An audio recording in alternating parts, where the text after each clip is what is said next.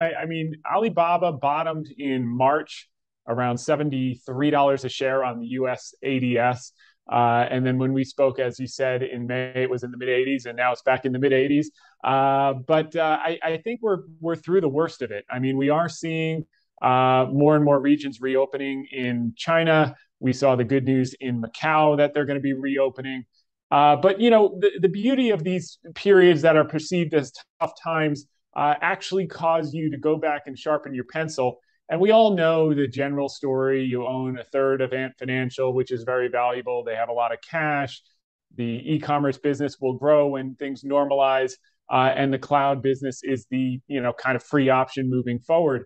Uh, I want to kind of drill down on the cloud business because I didn't even realize the magnitude of what that means moving forward uh, until I uh, really, really put a sharp pencil to it of late. And what sparked that was McKinsey a, a few weeks ago, uh, the big consulting firm came out with a report that said the China's public cloud market was going to triple in size uh, in the next couple of years from 32 billion dollars today uh, to 90 billion dollars by 2025. So that's that's very, very fast growth. Uh, now Alibaba has 36.7% of the market currently. I think that share will actually grow uh, because uh, due to the regulatory crackdowns and the unfavorable uh, business environment with COVID zero that uh, businesses had to contend with for the last 12 to 24 months, uh, which is going away. I think uh, Baba is going to be kind of the last man standing. Tencent is very far behind in terms of cloud share. I think they're at about 11%. Um, if you look at the business when it gets to scale, and I'm going to compare it to Amazon Web Services, which has a 29% operating margin uh, today. If you look at that $90 billion market by 2025, assuming they don't grow share and they, they retain a 36.7% share, that's $33.3 billion top line compared to about uh, 11.8 billion right now. Uh, but the magic of that is going to be the operating leverage. So uh, as you get to scale, we saw the same thing with Amazon Web Services. Once you get to 20 and 30 billion, you start to get into that uh, 29% operating margin region. That's going to be $10 billion of new operating income to Alibaba. Now, why is that important? Well, let's assume that the rest of their businesses don't grow anymore, which, by the way, is a completely faulty assumption because, you know, I just had uh, uh, lunch last week, well, both dinner and lunch with one of the largest developers in Istanbul, Turkey. They actually build the soccer stadiums uh, in all of Africa, the airports, the hotels. And we were talking, and uh, I was talking to them about uh, online e commerce platforms in Turkey and accompanying countries. And they're like, well, uh, Alibaba made an acquisition and they're just growing like crazy, 23% per year uh, uh, compound annual growth rate on the top line. And uh, there's no end in sight. They're going to be expanding aggressively to surrounding countries uh, and Eastern Europe, and, and they're just going to dominate. And that's like just getting started. So leaving aside that the, that the international is going to grow, the Chinese is going to rebound, forget the commerce business. Let's just assume that that's zero.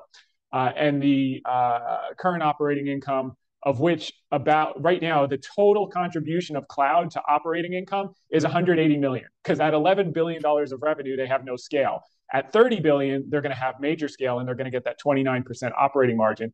But um, the current operating income is 15.2 so if you add 10 billion dollars of operating income to that uh, you, you, know you're looking at uh, 25 26 billion if you uh, if you add it to last 12 months versus peak uh, kind of um, you know pandemic peak, which was six, 16.7 billion. And what that means in English is this: you basically have 60% more operating income in 2025 just on the basis of the cloud growth, assuming nothing else grows, than you did at the peak when Alibaba's ADS was trading at $319 a share. Uh, to put that in perspective, we're trading at, uh, I don't know, $84, $85 a share today. Um, and that assumes peak multiple. So if you apply the peak multiple that the market assigned when the stock was trading at 319 with the growth in cloud by 2025, you're looking at a $510 stock, assuming nothing else grows. Now, let's just cut that in half and assume that we don't get a peak multiple, that we actually get a trough multiple, and no one ever becomes euphoric about Chinese stocks again, and they just give them the lowest historic multiple. You're looking at a 200 to $250 stock and again, that uh, assigns zero credit for the cash on the balance sheet, zero credit for owning a third of Ant Financial, which, by the way, was originally going to IPO at $300 billion. The business has grown in the interim, but you know maybe the market assigns $150 billion today because of the pessimism. At some time in the future, that business will be worth 500 billion to a trillion. That may be eight or 10 years out. And as owners of Alibaba, you own a third. So when I do the sum of the parts, and I continue to just assign zero growth to the uh, domestic and international e-commerce growth, which I think both of which are just starting in terms of uh, recovery from zero COVID, uh, in terms of pro-growth policies that have been uh, aggressively in place since March, but not being felt in the economy due to uh, uh, the COVID zero.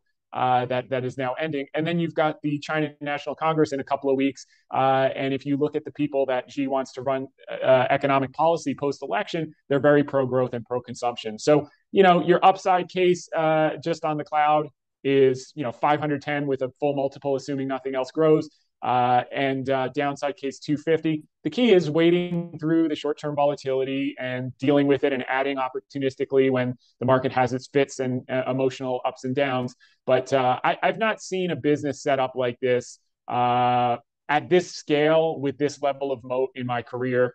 Uh, I've certainly seen special situations in the smaller mid cap that were multi many multi baggers, and and those are those are a little easier to find. But in terms of what Alibaba is offering today, uh, you know, I, I, just, you know, continue to look at uh, the valuation. And, and even Marcel, you know, before I sharpen my pencil on the cloud and what that means moving forward, you know, I think I talked last time to your viewers. You basically have a business that's grown, um, the total business has grown revenues 800% since 2014.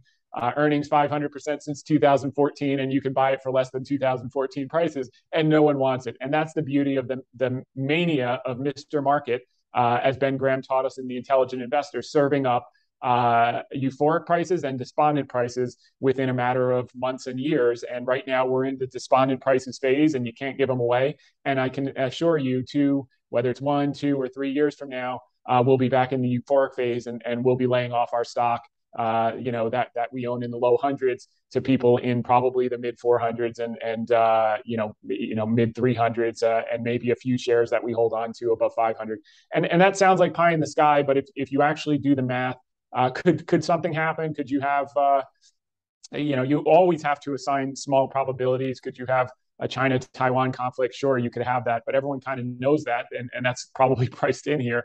Um, could you have a continuation of ridiculous uh, a crackdown that that had happened uh, 12 months ago. Uh, you could you have it every three to five years. They do the same exact thing. Uh, could it persist a little longer? Sure. I mean, this one has persisted longer than I had anticipated. Uh, but um, you know, leaving that all aside, the business continues to grow, and you know, even though they work at it 24 hours a day, seven days a week, they can't seem to kill it.